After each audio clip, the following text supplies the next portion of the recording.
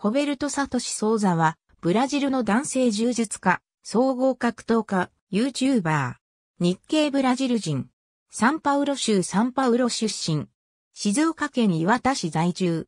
盆栽柔術所属。ブラジリアン柔術黒帯。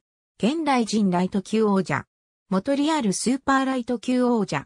盆栽柔術の創始者ジューソン・ソーザの三男。父の指導のもと、幼少期から柔道とブラジリアン柔術を学んだ。2006年7月、世界柔術選手権青帯メジオ級、アブソルート級で2階級制覇を達成。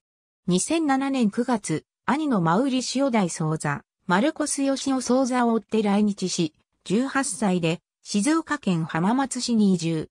来日当初は二人の兄と共にブルテリア、格闘技ジムで練習と指導を行う傍ら、工場作業員としても働いていた。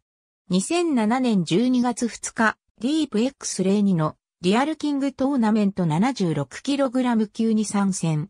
1回戦で村松隆之と対戦し、腕ひしぎ十字固めで一本勝ち。準決勝で大内隆と対戦し、腕ひしぎ十字固めで一本勝ち。決勝で山田修太郎と対戦し、判定勝ちを収め、優勝を達成した。2009年6月、世界柔術選手権紫対0尾級で優勝。2010年6月、世界柔術選手権茶帯、0尾級で優勝。2010年10月10日、ディープ X06 のブラジリアン柔術、スーパートーナメント 75kg 級に参戦。1回戦で大内隆と対戦し、手首固めで一本勝ち。準決勝で近藤哲也と対戦し、アームロックで一本勝ち。決勝で島崎浩二と対戦し、腕ひしぎ十字固めで一本勝ちを収め、茶帯ながら黒帯保持者3名を下して優勝を達成した。2011年5月1日、父からブラジリアン柔術黒帯を授与された。2012年4月、アブダビワールドプロフェッショナル柔術選手権、茶帯、黒帯、レーヴィ級で、ダビ、ハモス、ルーカス・レプリラを破って初優勝を達成。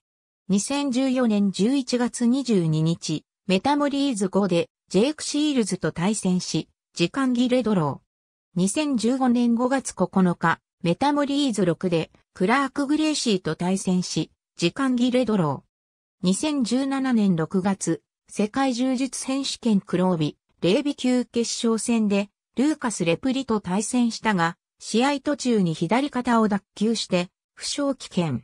準優勝に終わった。2018年6月9日、クインテットファイトナイトイン東京に、チーム、ハレオのメンバーとして参戦。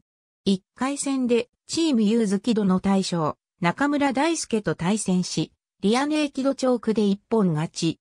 決勝では、チームカルペディエムの次鋒、デビット・カルモ、中堅、松本義彦を立て続けに、リアネーキドチョークで下した後、副将、岩崎正宏と対戦し、時間切れドロー。2018年10月5日、クインテット3に、チーム桜庭のメンバーとして参戦。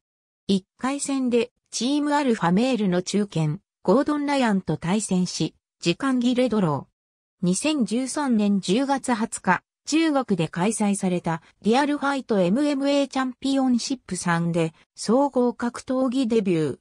2015年12月5日、リアル3のスーパーライト級王座決定トーナメント1回戦で上山隆樹と対戦し、三角締めで一本勝ち。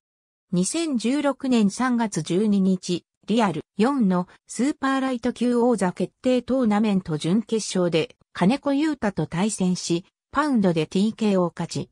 2016年6月12日、リアル5のスーパーライト級王座決定トーナメント決勝でズズと対戦し、腕ひしぎ十字固めで一本勝ち。王座獲得に成功した。ライジン2019年4月21日、ライジン初参戦となったライジン15で北岡悟と対戦し、パウンドで TKO 勝ち。2019年7月28日、ライジン17で広田水人と対戦し、パウンドで小勝ち。試合後のマイクパフォーマンスで UFC じゃない、ここはライジンだよ、と叫んだ。2019年10月12日、ライジン19のライト級トーナメント1回戦でジョニー・ケースと対戦し、左目にパンチを受け、試合開始から75秒でタップアウト。キャリア初黒星を喫した。2020年8月9日、ライジン22のメインイベントで、八千祐介と対戦。タックルに入った後マウントポジションを奪い、パウンドを連打。八千が背を見せるとチョークスリーパーを狙い、八千が仰向けに戻ると、パウンドを続行、TKO 勝ちを収めた。試合後に、チームメイトのクレベル小池をリングに招き入れ、ライジンへの参戦アピールを行った。また、試合後のインタビューで、ライジンのベルトを日本に戻したいと語った。2021年3月21日、ライジン27で、徳留和樹と対戦し、1R に三角締めで一本勝ちを収めた。2021年6月13日、ライジン28のライジン初代ライト級王者、決定戦で、ライジンライト級、ワールドグランプリ王者のトフィック・ムサエフと対戦。1R に引き込みからの三角締めによる一本勝ちを収め、初代王座獲得に成功した。なお試合前の国家斉唱では、ブラジル国家ではなく君が代を選択、勝利後は日の丸を掲げて、ベルトを巻き、マイクで、日本、約束できたよ。ライジンのベルト、戻ったぞ。と絶叫した。ありがとうございます。